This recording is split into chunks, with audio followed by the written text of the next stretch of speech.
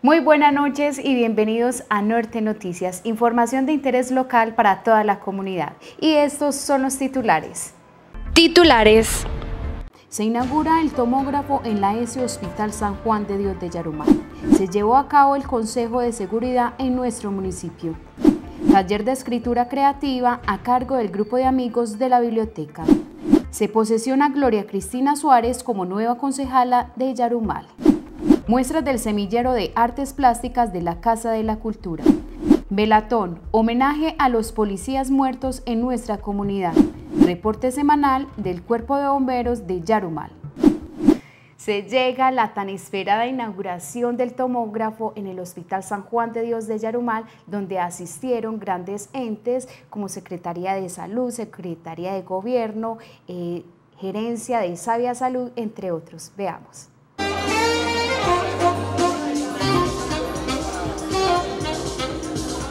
Nos preparamos para hacer lo propio, pero además para continuar pensando en el futuro. Hoy recogemos los frutos de dicha decisión y esta decisión fue liderada por usted.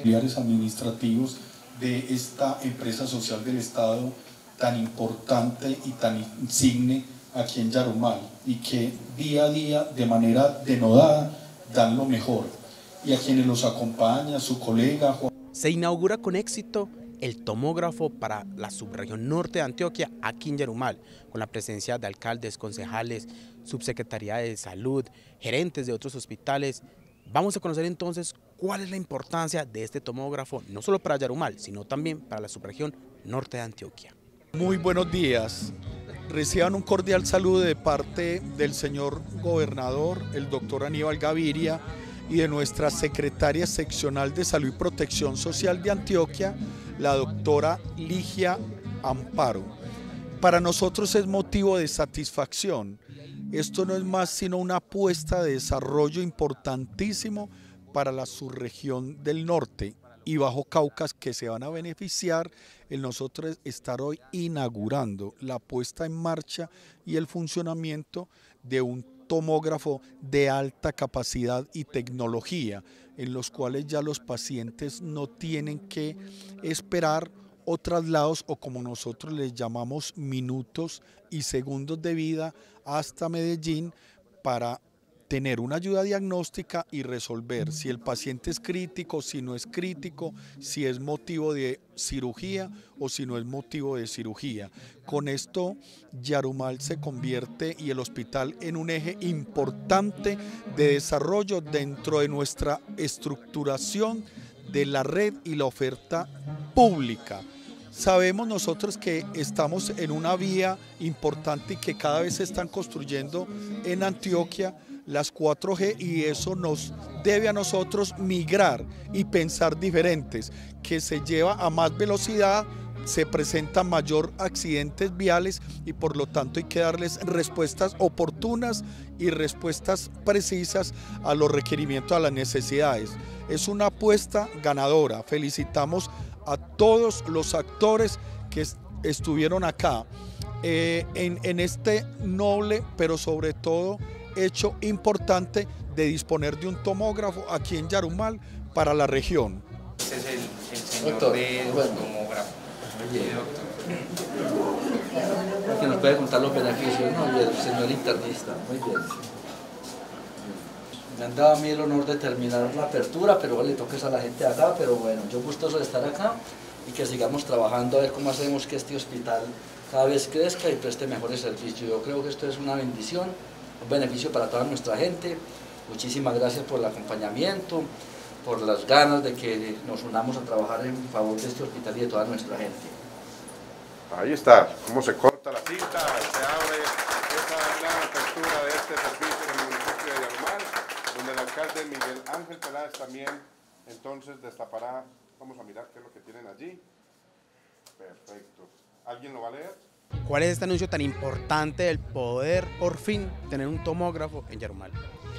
La importancia radica, digamos, en varios aspectos. Lo primero es una inversión social. Poder ofrecer este importante servicio a la población acá en nuestro municipio, pues tiene un ahorro inmenso para las gentes que no se tienen que desplazar hasta la ciudad de Medellín, lo costoso, lo traumático y lo segundo es crecer en servicios en el hospital y en la medida que crecemos en servicio, pues también no solamente prestamos mejores y más servicios de salud, sino que vamos eh, liderando que Yarumal pues también tenga esa posibilidad de crecer económicamente porque esto es un motor generador de empleo, toda la prestación de los servicios de salud.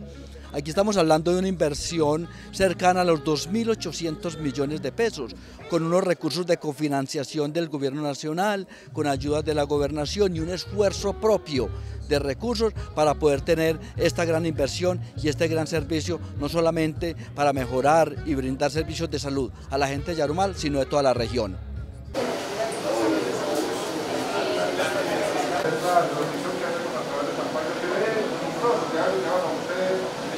El servicio de tomografía es el primer servicio de alta complejidad que tenemos habilitado en nuestro hospital. Eso nos abre a nosotros la posibilidad de diagnosticar patologías que anteriormente no podíamos diagnosticar, pero además de diagnosticarlas, tratarlas. Eso es un reto profesional para todos los especialistas de nuestra institución que antes eh, remitían los pacientes hacia la ciudad de Medellín y continuaban su tratamiento allá. Ahora muchos pacientes no van a tener que ser remitidos porque van a poder ser tratados aquí en unas patologías que con anterioridad no lo hacíamos. Entonces para nosotros es un crecimiento profesional, es un tema de reconocimiento en la red pública del departamento y un reposicionamiento del Hospital de Yaromal como uno de los líderes en la prestación de servicios de salud pública, en donde estamos por primera vez contando con este importante equipo. Ya con tomógrafo, nosotros tenemos eh, unos problemas de base en este momento. el incremento en la producción ha sido muy rápido, muy acelerado y muy, muy, muy grande y tenemos unas dificultades de acceso en este momento. Eh, esperamos que en menos de 15 días estemos lanzando una plataforma con inteligencia artificial para el autogestionamiento de las citas de los pacientes. ¿Qué quiere decir eso? Que por un mensaje de WhatsApp las personas puedan, a través de inteligencia artificial, agendarse la cita para el servicio que esté necesitando y eso nos va a liberar a nosotros una presión bastante grande que tenemos hoy con dificultades tecnológicas, que los teléfonos no contestan, que las personas no están logrando acceder oportunamente a su asignación de citas y ese es un capítulo que va a cerrar otra gran problemática para nuestro hospital.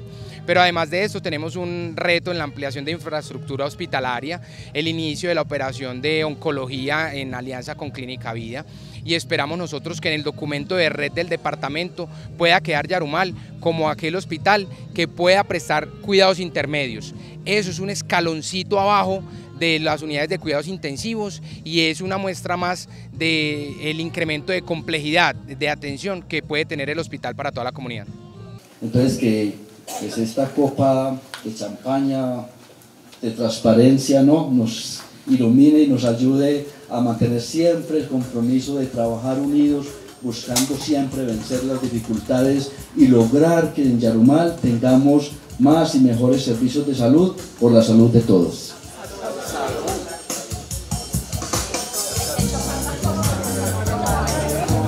Hombre, estamos acompañando al doctor Giancarlo Vanega, gerente acá del Hospital de San Juan de Dios de Yarumal, en este gran logro, este gran proyecto que hoy logra alcanzar Yarumal, felicitar a los yarumaleños, felicitar al alcalde, felicitar al gerente, queremos acompañarlos como referente del nordeste antioqueño, estamos próximos también a estrenar nuestro tomógrafo en Yolombó, esperamos en el mes de octubre de antemano invitados todos a que nos acompañen, quisimos acompañar al doctor hoy con nuestra comisión del hospital celebrando ese gran logro, realmente es un logro inmenso que logra hoy el hospital, lo que significa presupuestalmente en materia de atención, de prestación de servicios, de crecimiento institucional, realmente es algo muy muy importante que están logrando hoy, alcanzando hoy y qué rico poderlos acompañar, aprender de esta experiencia también y poderla llevar a las otras zonas, llevarla al nordeste antioqueño también para que sean beneficiados los municipios.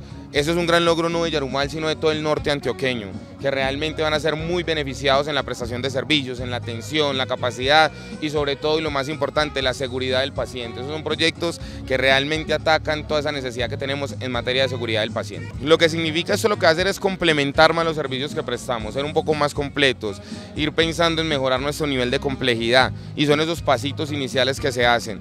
Realmente va a haber muchos servicios y sobre todo financiero y presupuestalmente va a significar un impacto. Es una nueva empresa que entra a la empresa San Juan de Dios de Yarumal, como va a pasar en Yolombo también. Realmente va a generar más empleo, más capacidad, una economía diferente y lo más importante, como les decía, es poder dar esa integralidad de los servicios, de que el paciente no tenga que venir, arrancar a tomarse una tomografía a Medellín, volver a Yaumán para ser atendido, sino que ya lo vamos a atender completamente acá y que es lo que debemos ir buscando todos los segundos niveles en, en Antioquia. De nuestro tomógrafo, doctor César, así que muchas gracias por el día de hoy estar aquí.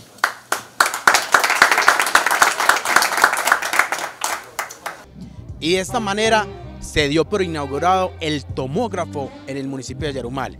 Con gran compañía de grandes entidades de aquí de Yarumal y en la subregión podemos dar inicio a la gran prestación de servicios de salud por parte de la ES Hospital San Juan de Dios de Yarumal. Hasta pronto.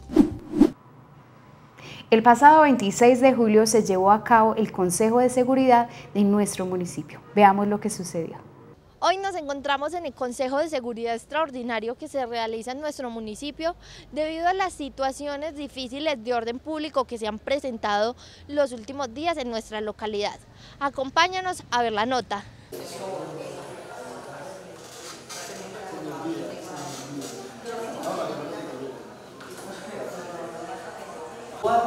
Y se nos ha convocado pues, a hacer este llamado la preocupación inmensa. Pues, sea lo primero expresar nuestra solidaridad y nuestra voz de condolencia frente a las situaciones lamentables donde ha perdido la han perdido la vida funcionarios de la policía que en cumplimiento de su deber y buscando siempre garantizar la vida de las personas, la honra y los bienes, han fallecido en cumplimiento de ese deber y hacer extensivo también esas condolencias a todas aquellas familias víctimas de los diferentes homicidios que se han presentado en el municipio. Y frente a esta situación presentada, sin duda que hemos eh, tomado unas acciones en este Consejo de Seguridad, como primero es que se está haciendo una consolidación de la fuerza pública para poder brindar la seguridad a todos nuestros habitantes en ese modelo de estrategia de vigilancia por cuadrantes. También eh, la Fiscalía con un compromiso que se le ha venido solicitando de apoyo para hacer la judicialización, para tener una prontitud en estos resultados y así no dejar estos crímenes impunes. Eh, en tercer lugar, trabajar articuladamente toda la institucionalidad para que tengamos en Yarumal un avance en unas cámaras de seguridad para poder brindar una mayor seguridad a toda nuestra gente y poder tener allí también la posibilidad de, de un sistema de pruebas que necesitamos. Y en cuarto lugar, y un asunto fundamental, es convocar a la solidaridad. El tema de la seguridad tiene que ser un compromiso de todos, la institucionalidad, pero también la ciudadanía de manera general. Eh, hablábamos asuntos tan sencillos como a quién se le están alquilando las propiedades. Muchas veces aparecen personas sin que no tienen utensilios, alquilando unos apartamentos para desde allí generar la delincuencia, para desde allí programar los delitos. Ahí también hay una responsabilidad de todos nosotros frente a esto. El llamado de todos a hacer acompañamiento, a dar la información, que se requiere para atender de manera pronta eh, las amenazas que se puedan presentar en el tema de orden público. Yo creo que es fundamental también todos como, como institucionalidad y como comunidad entender que la seguridad es de todos y que todos queremos construir y tener un municipio muchísimo mejor, por eso todos queremos aportar. Tenemos entonces ya otros asuntos que son reserva acá dentro del Consejo de Seguridad de unas medidas que se están tomando y decir que se han venido generando las capturas de aquellas personas que han estado al frente de los grupos organizados generando delincuencia en el municipio. ¿Qué es lo que pasa? Que se generan las capturas y aparecen otros actores que frente a ellos se ha venido trabajando. Así que la fuerza pública, policía, ejército, organismos de investigación, SIGIN, vienen trabajando arduamente para generar, digamos, unos resultados contundentes frente a la delincuencia. Y otro asunto que tenemos que tener claro es que hay un plan delincuencial donde están inclusive ofreciendo unos montos de dinero por policías asesinados. Eso ocurre en nuestro país, eso es a nivel nacional. Y todos los días estamos recibiendo noticias que han acribillado a un agente de la policía, que han hecho un atentado a las diferentes instalaciones de la policía, como una reacción también de los delincuentes frente al accionar del Estado que los viene persiguiendo, que los viene judicializando. Eso es la sociedad que todos estamos construyendo, esa es la invitación también para que todos ayudemos porque esto no lo podemos seguir permitiendo. El tema de las redes sociales se presta para este tipo de situaciones que confunden, que generan mayor pánico, que son noticias mentirosas. Eh, se está diciendo que llevamos en Yarumal en el último mes 19 homicidios. Eso no es cierto. Sí, se han presentado unos homicidios en el último mes, pero no en, ese, no en ese número. Eh, Igual vienen presentando fotografías de otros homicidios en otros lugares y aparecen como si fueran de Yarumal, que hay otro atentado en otro lugar. Y entonces con eso lo que hacen es confundir y generarle pánico a toda la ciudadanía. Entonces invitamos esa a la responsabilidad, a la solidaridad, porque esto lo tenemos que hacer entre todos. El gobierno nacional está tomando una serie de medidas que tienen que ver con reforzar todo lo que tiene que ver con la investigación, segundo, con el pie de fuerza. Y tercero, con, unas, eh, eh, con implementar unas estrategias de protección y también de cuidado, porque es que fíjese que Cometer eh, el delito es muy fácil, atentar contra el otro es muy fácil, eh, generar eh, este, este, esa situación de zozobra es muy fácil. Hoy en la mañana veíamos una noticia como un francotirador asesinaba a un policía por allá por el Santander, de tal manera que, que el delincuente se camufla, el delincuente se esconde y a veces encuentra protección de la misma ciudadanía, en tanto la fuerza pública está expuesta porque siempre está identificada. Siempre se han venido haciendo esos esfuerzos buscando cómo reforzar el pie de fuerza en aquellos mínimos que necesitamos para poder prevenir el delito, para poder acompañar la ciudadanía, porque no solamente la fuerza pública está hecha para estos asuntos específicos que hoy nos convocan, por ejemplo, de los homicidios, frente a este accionar de los grupos organizados que vienen amenazando la tranquilidad del municipio. La fuerza pública también hace un acompañamiento cívico a, las instituciones, a las familias, a los establecimientos de comercio, a los establecimientos bancarios. Es decir, nosotros necesitaríamos es que casi que cada ciudadano sea un agente del orden y de la seguridad, porque está absolutamente claro que es imposible tener un, agente de la policía o del ejército custodiando y cuidando a cada uno de los ciudadanos, además de las otras actividades que le corresponde por la ley y la constitución, que es proteger, garantizar la vida, la honra y los bienes de todos los ciudadanos. Y este fue el reporte dado por las autoridades en nuestro municipio sobre la seguridad. Seguimos en estudio. Taller de escritura creativa a cargo de los amigos de la biblioteca es un espacio para el fomento de la literatura.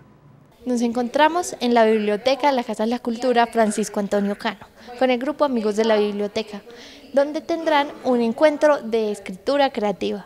Veamos la nota. ¿Cuáles son esas características del grupo Pues que fomenta la escritura, eh, la lectura, por supuesto, el debate, eh, aparte de leer y escribir, pues también hay como un grupo amigo entre nosotros con el que se puede pues, estar abierto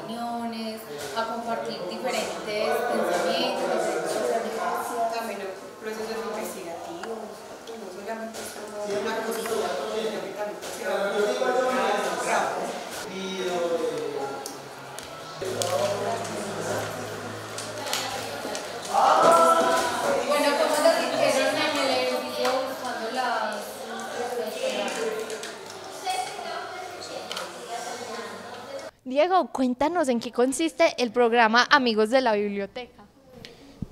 Sí, el grupo Amigos de la Biblioteca es un espacio donde un grupo de personas nos reunimos para trabajar en torno a la literatura, para tener una apertura frente al conocimiento, las letras, el arte. Nos reunimos cada ocho días para hablar sobre un tema determinado y a partir de allí realizamos algunas actividades propias de todo nuestro contexto general de la literatura y de lo que es el rescate por la lectura, por los libros y por volver nuevamente hacia un pensamiento crítico y a una apertura hacia el conocimiento como tal. Juan Diego, ¿hace cuánto tiempo más o menos surge Amigos de la Biblioteca? ¿Y quiénes fueron los fundadores? ¿Quiénes asisten? ¿A quién va dirigido? El grupo Amigos de la Biblioteca inició desde el pasado mes de marzo, en este momento está dirigido por nuestra compañera Marilyn, está dirigido a todo tipo de personas. Queremos dirigirnos a todos los que quieran venir, participar, gustar de la lectura y de todo lo que ella contiene. Eh, hoy, ¿de qué se va a tratar ese taller? Por si nos quieres dar como una pista. Claro que sí.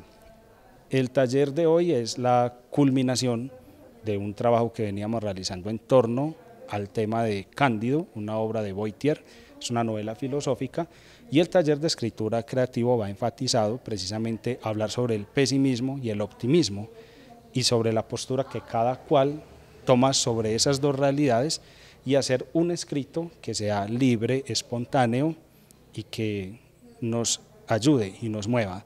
Para tener ideas nuevas y tener mucha creatividad y tener a través de este espacio una capacidad de conocer hasta dónde podemos llegar para escribir, para tener una creación literaria y motivarnos propiamente con la lectura y con la escritura. Listo, Juan Diego, muchísimas gracias. Invitamos a la gente a que haga parte de estos espacios que son enriquecedores para los jóvenes, para los adultos, para todos en general. Claro que sí, a través de estos medios de comunicación les agradecemos el que nos hayan tenido en cuenta para dar a conocer nuestro grupo. Los invitamos todos los martes a las 7 de la noche aquí en la Casa de la Cultura. También nos pueden seguir a través de las redes sociales, Facebook e Instagram, Sinfonía del Viento. Todos bienvenidos y los esperamos. El pasado 28 de julio se llevó a cabo la posesión de Gloria Cristina Suárez, la nueva concejala de nuestro municipio.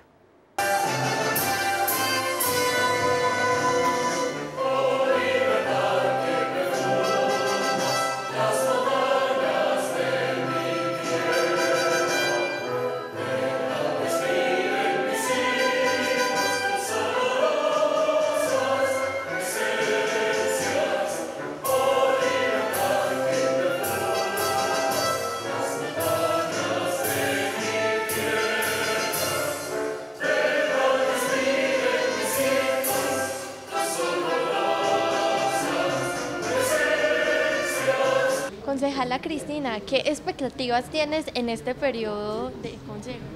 Bueno, pues llegamos al Consejo eh, una vez más, después de haber estado ya eh, en el año 2015-2019, y pues la que siempre hemos tenido, hacer un ejercicio serio de control político, yo creo que esa es la labor que tiene un concejal en el municipio de Yarumal, y Yarumal está pasando por una época difícil, eh, no ha sido fácil en los últimos días, en los últimos meses para nuestro municipio, entonces podemos, esperamos poder aportar desde nuestro partido, desde nuestras posturas, desde nuestro punto de vista con el desarrollo de Yarumal que tanto lo necesita. Nosotros estamos ubicados al norte, pero a veces pareciera como si no tuviéramos norte. Entonces yo pienso que es importante eh, hacer el ejercicio de eh, mirar cómo está el plan de desarrollo, cómo va la ejecución, qué indicadores se han logrado cumplir y también pues en qué estamos fallando, porque es importante en ese ejercicio de hacer control, en ese ejercicio de eh, buscar o propender el desarrollo de nuestro municipio, eh, hacer lo que tenemos que hacer y finalmente pues eh, los ciudadanos nos dieron el voto de confianza para eso,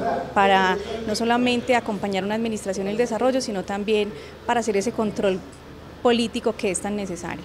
Estamos con don Oscar, el presidente del Consejo Municipal. Don Oscar, ¿a qué se debe la llegada de la nueva concejala? Bueno, muchas gracias primero que todo por tenernos en cuenta. Mi saludo para todos ustedes y para los teleaudientes. Eh, lo que pasa es que el proceso que, nos da la ley es precisamente lo que tenemos que ejercer hoy. Cuando un concejal renuncia y sobre todo cuando lo hace de manera irrevocable, es menester consultar a la registraduría del Estado Civil quién es la persona que en orden descendente eh, llega en la lista de la persona que renunció. Como Fernando Espinosa renunció porque es de conocimiento público que él aspira a la alcaldía, entonces la señora eh, Cristina Suárez continúa en la lista y a ella le tocaba ocupar la curul. Recuerden ustedes que hace más o menos un mes eh, hicimos un procedimiento igual con la señora Evenia Ceballos, que, que reemplazó a Viviana Guerra, quien se ve como secretaria de Educación del municipio de, ay se me escapa, eh, no, no, recuerdo, no, no recuerdo el nombre, pero ella renunció a la curul. Y entonces hemos tenido eh, para estas elecciones de agosto que se nos avecinan eh, dos concejalas nuevas en el recinto. Entonces, ¿qué hicimos? Lo que la Constitución nos indica, lo que la ley 136 nos indica y el reglamento del Consejo, que es posicionar en momento oportuno a quien le, corresponde por derecho acceder a la curul de concejal.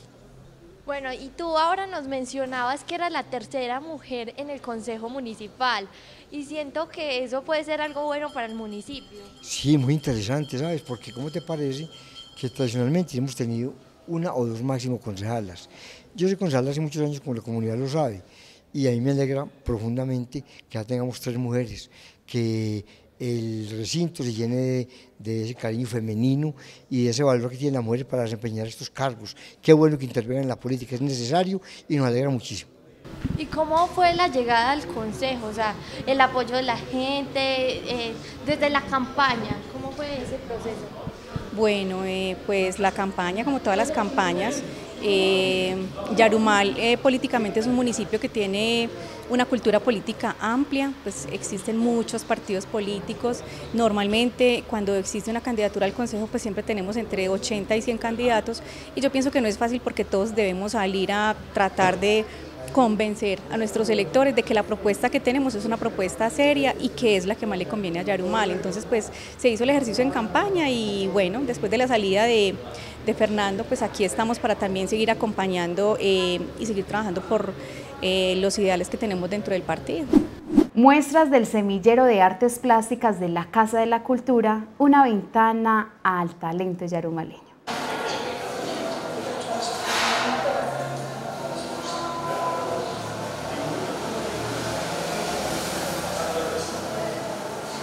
Cristian, ¿desde hace cuánto haces parte de la Escuela de Artes y Oficios de la Casa de la Cultura, pero en artes plásticas? Eh, estoy desde principios de, de marzo, más o menos. ¿Y desde hace cuánto te gustan las artes plásticas y qué técnica utilizas? ¿Por qué descubriste que te gustaban? Bueno, yo desde niño siempre tuve como una tendencia, empezando como por Dragon Ball Z, como dibujando las carticas y ahí me fui como proyectando en las artes plásticas. Eh, ya luego pues como en la escuela, como cierto, esa, esa, inclinación por el dibujo principalmente y, y ahí fui, me quedé, me quedé, fui como creciendo un poquito en eso y ya al iniciar aquí en, en, la Escuela de Artes y Oficios, como para tomar técnicas, como para ver qué falencias tenía. Y, y te pregunto, o sea, ¿cómo te proyectas en el dibujo? ¿Como algo más, no sé, como un hobby o profesional o como combinar las dos cosas? Es más bien como un hobby, ¿cierto? Y también eh, yo tengo como algunos proyectos culturales y eso que me pueden proporcionar conocimientos. Y como adentrarme en el arte, eh, también conocer la historia con la ayuda del profe Alex. entonces por eso me animé a participar. Listo, muchísimas gracias Cristian.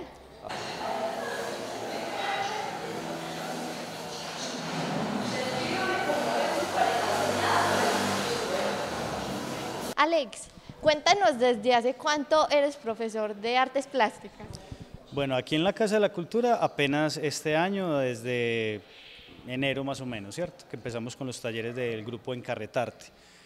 Pero yo llevo una experiencia ya de 30 años como artista plástico y mm, hago otras cosas como murales, escultura y pintura en varios, eh, varias técnicas.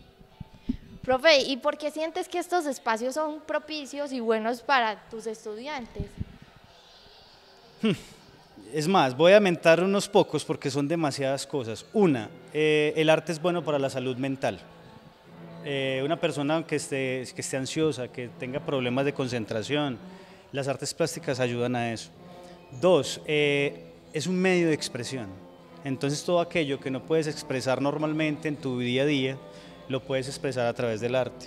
Y si tenemos en cuenta para los adolescentes y los niños es un, un objeto pues de, de, mucha importancia. Y los adultos mayores también vienen acá porque también se sienten útiles, fuera de eso eh, aprenden nuevas cosas y les ayuda con su motricidad fina, con la relación con otros que les gusta lo mismo. Entonces es una zona de compartir, de conversar, no solamente venir a pintar como que fuera, no sé, una academia rígida donde las cosas se dan de una manera obligada, no.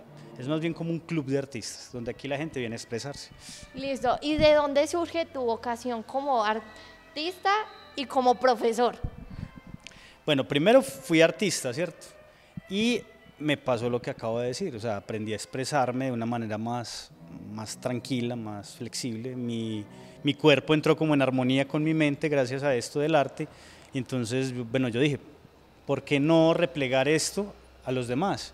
Y hice algunos ensayos dándole a algunas personas, jóvenes, y me di cuenta que sentían lo mismo. Y lo otro es para quitar ese tabú de que ser artista es o ser pintor o dibujante es como un talento divino traído del cosmos o del más allá. Realmente no, realmente son solamente ganas y un poquito de paciencia y disciplina.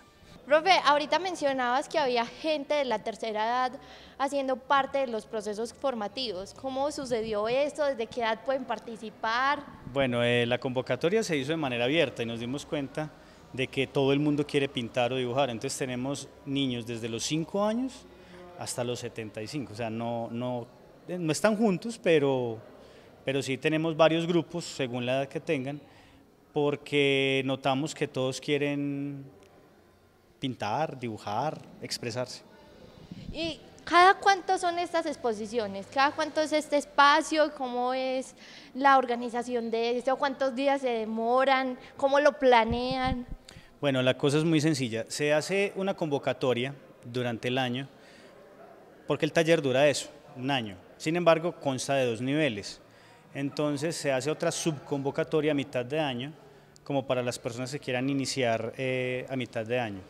Cada vez que se termina un nivel, se hace una exposición como esta para que la gente que quiera, de los que están estudiando, muestren eh, sus logros. Hay gente que no ha pintado nunca nada, y sin embargo han logrado hacer ya cosas interesantes y han descubierto que es un asunto más de disciplina y de voluntad que de talento.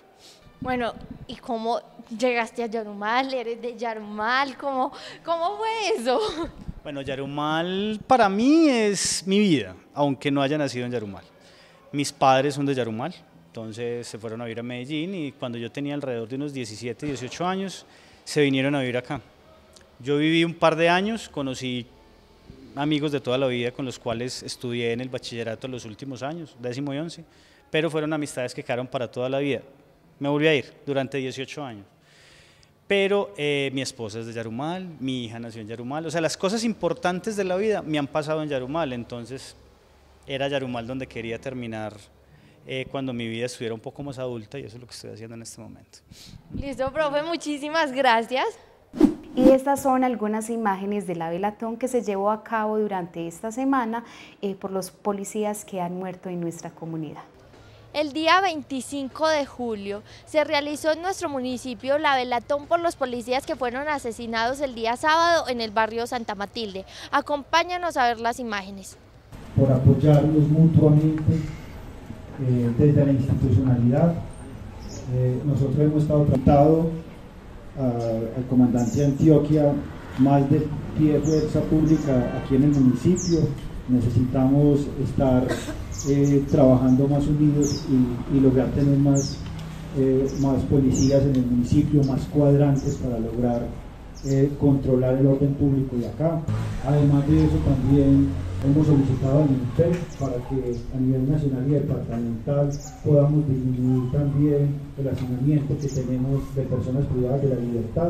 Dos compañeros de la fuerza pública no sean vanos, sino que realmente entregaron su vida precisamente por protegernos, por estar por ellos de la administración municipal. Los acompañamos, estamos con ustedes y estamos entonces para que sigamos trabajando unidos siempre. Eh, lo más importante es mandarles el mensaje a la comunidad. Y un mensaje que hay que trasladarle vehementemente al gobierno nacional saliente y al entrante que la política de seguridad del, del, país, tiene que ser una política. Entonces una voz de condolencia muy especial eh, de parte de la administración municipal y toda la comunidad por estos dos eh, eh, policías que fallecen en cumplimiento de su, de su deber. Muchas gracias.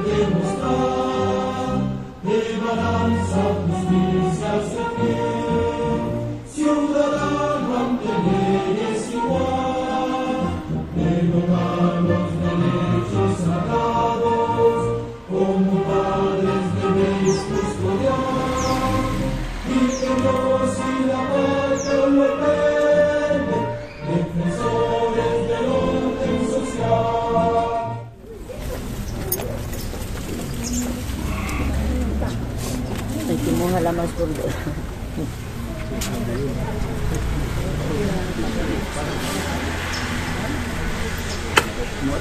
dos.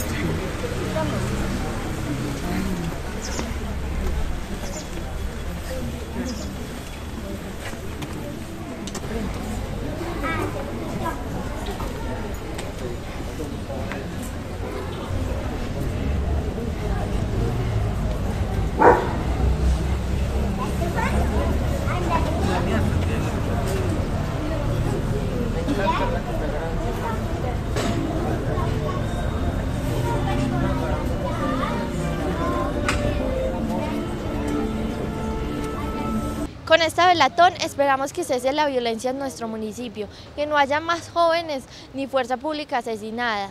Sigamos en estudio. Y este es el reporte semanal del Cuerpo de Bomberos de Yarumal.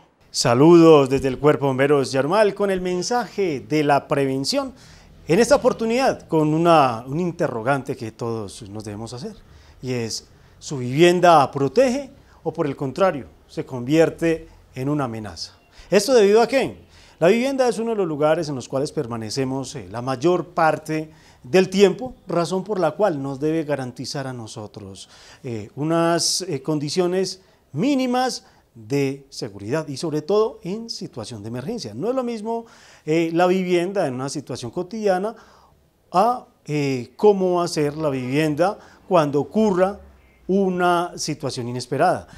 Para esto es importante que usted eh, verifique cómo está la vivienda frente eh, a la respuesta a una emergencia. Es decir, se va a presentar un terremoto, su vivienda eh, cumple con las condiciones mínimas de sismoresistencia, su vivienda tiene de pronto algunos elementos mínimos para mitigar los efectos de un incendio. Su vivienda está alejada de quebradas para el caso de las crecientes súbitas, está retirada de eh, los eh, lugares que pueden ser afectados eh, por las fuertes lluvias.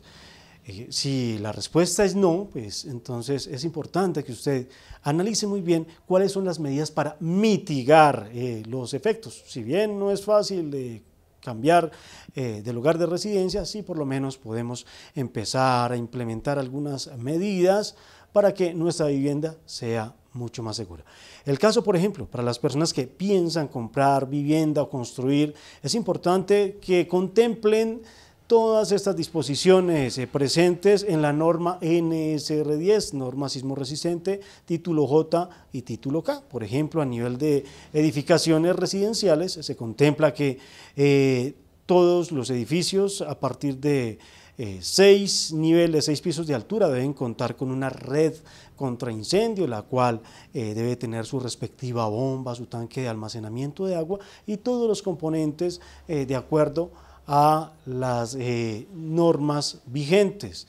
Igualmente que tenga unas escaleras, unos medios de evacuación adecuados, una iluminación de emergencia, también adecuada para el caso en que eh, sea necesario salir de la edificación. Y así son muchos los componentes que se requieren en materia de seguridad, no solamente el tema arquitectónico, el tema decorativo, sino que más allá hay un componente de seguridad que todos debemos contemplarlo para que justamente sea este el que nos garantice la vida en el momento en que ocurra cualquier situación inesperada. Siempre el cuerpo de bomberos está presto a asesorarlo, a acompañarlo en eh, todas estas situaciones. La invitación es para que si usted va a construir, va a adquirir vivienda, va a remodelar y tiene dudas sobre los componentes de seguridad, puede comunicarse con nosotros. Recuerde los medios de contacto del Cuerpo de Bomberos de Arumal, el 313-650-6738, 887-1123, 853-7603 y la línea de emergencias 119. Y recuerde que es mejor estar preparados para algo que posiblemente no ocurra y no que ocurra algo para lo que posiblemente no estamos preparados. Y estos son los clasificados de esta semana. Clasificados.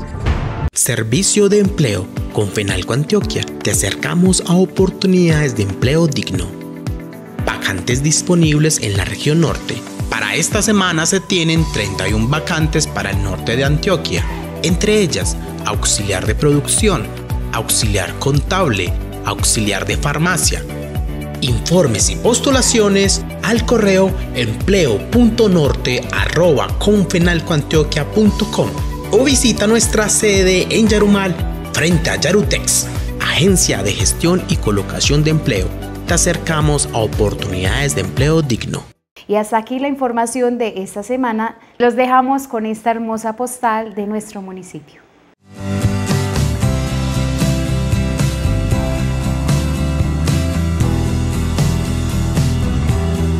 Nos vemos en una pronta emisión. Feliz noche.